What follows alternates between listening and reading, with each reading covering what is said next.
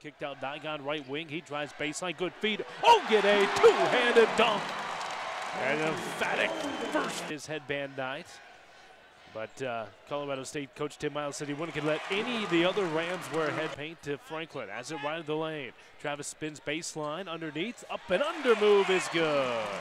Colorado State showing it's going to hold it up high on the right side. Here's Green driving left down the lane. Little fake floater is up and good.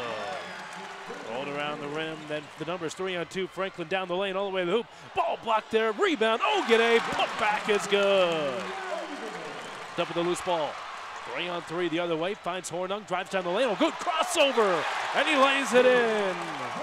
How about the crossover? Here's O'Brien. Drives right down the lane. Ball stripped away by Eikmeier. Beautifully done. Falling out of bounds. Got it to Nigon. Lead pass ahead oh, to Ogide who throws it down. Timeout Utah. Veers off to the right wing. Nigon top of the key. Gonna fire an off balance three. It's good. 26-22 CSU. Into the paint. Here's Ogide. Fadeaway jumper is up and good. Well, he's got the fadeaway working tonight. Nothing that either of the Ute. O'Brien wants to drive baseline. Got inside his shot. Rejected there. Right side to Dorian Green.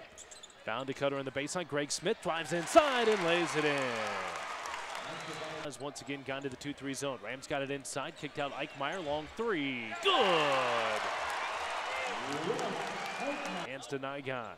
Got into the paint. Here's Hornung working against O'Brien to his right. Lift fake, great. Step through, scooped it up and in. That is Tex now to go in the game. Eikmeier off the bounce. Right in the lane. Pull up two. Yes! 12 point lead. High post, this is Ogide. Andy wants to drive. Got right down the lane. Fade away two. Caught another. That is so pretty. Is up. Car.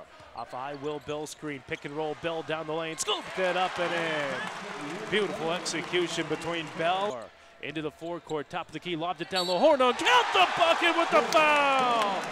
What a play for Hornung and a beautiful pass from Jess. Off the dribble, bounces left to the lane. Ogide, now he backs his way down. Spin around, jump, hook up, and good. 20 down for Ogide. Smith controls on the left side, crosses over, got inside the paint, leans in, and scores.